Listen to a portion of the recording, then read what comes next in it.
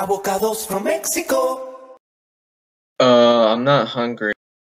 Avocados from Mexico. I also don't like avocados. Avocados from Mexico. And I don't like Mexican food. Avocados from Mexico. Avocados from Mexico.